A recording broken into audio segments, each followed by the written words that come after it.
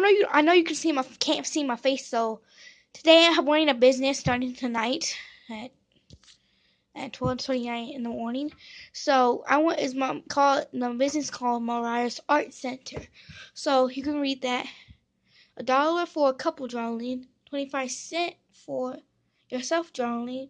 Only have my signature to get your money back. An example, that's my signature right here. And you go, this is what I'm gonna do a sheet of paper. It says which eye color you want. And you can get blues. Yeah, there's two different color blues. That's a mixed blue.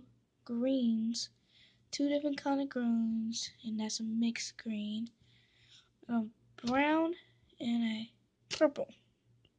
And which eye do you want? Devil eye? Devil eye? Normal eye, animated eye, animal eye. This is the paper, and you will call this number. Call 918 523 4391.